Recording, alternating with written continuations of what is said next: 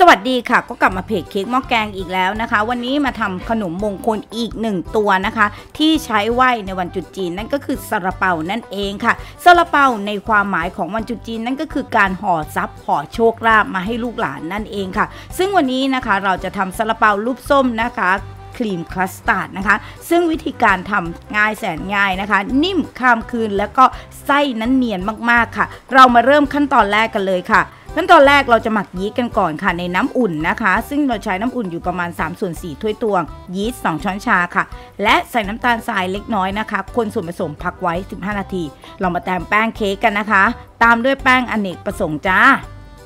น้ำตาลทรายค่ะ เกลืออีกเล็กน้อยนะคะ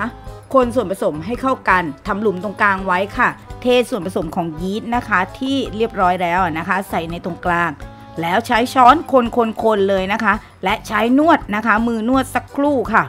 พอนวดไปได้สักครู่หนึ่งอะนะคะ เราทิ้งไว้ประมาณ 10 นาทีถึง 15 นาทีนะคะ เราก็จะใส่น้ำสีผสมอาหารนะคะ สีส้มค่ะ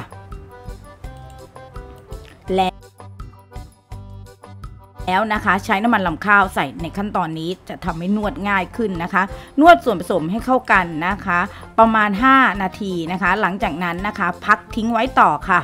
เราก็มาทำในส่วนผสมของนะคะไส้ครีมคัสตาร์ดเราจะใช้ไข่นะคะ ทั้งฟอง 3 ฟองค่ะ ตีส่วนผสมนะคะ ไข่แดงกับไข่ขาวเนี่ยให้แตกนะคะ หลังจากนั้นค่ะ ใส่น้ำตาลทรายลงไปจ้ะใส่แป้งข้าวโพดลงไปค่ะ ตีส่วนผสมให้เข้ากันนะคะ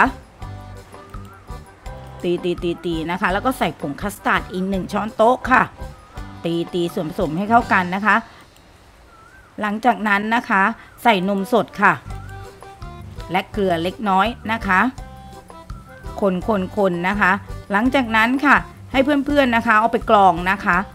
เพื่อให้คัสตาร์ดนั้นเนียนนะคะ กรองนะคะ แล้วเอาไปตั้งไฟกันค่ะ เราจะใช้ไฟ อ่อนค่อนกลางนะคะ คนตลอดเวลาค่ะ จนเนื้อขึ้นหนืดในลักษณะอย่างนี้นะคะ พักทิ้งไว้ค่ะ หลังจากนั้นเรามาขึ้นแป้งกันนะคะ โดยที่เราจะตัดแป้งแบ่งนะคะ อยู่ประมาณก้อนละ 40 กรัมนะคะแผ่ตรงด้านข้างให้บางนะคะ ตรงกลางหนานิดนึง ใส่ครีมคัสตาร์ดลงไปค่ะ ปั้นค่ะ ให้เป็นรูปกลมๆนะคะ เป็นรูปส้มนะคะ ค่อยๆ หยิบขึ้นนะคะ ห่อขึ้นนะคะ นี่ค่ะซาลาเปาครีมคัสตาร์ดนั่นเองค่ะ หลังจากนั้นนะคะก่อนที่จะเอาไปนึ่งนะคะ ให้หยดตรงกลางเป็นขั้วส้มนิดหนึ่งนะคะ ใช้สีเขียวหยดนะคะเอาไปนึ่งในน้ำนะคะ ที่ตั้งไฟแรงเดือดไว้นะคะ 15 นาทีค่ะ นี่ค่ะ เสร็จแล้วนะคะซาลาเปาลูกส้มครีมคัสตาร์ดนะคะสำหรับขนมตรุษจีนนี้ค่ะ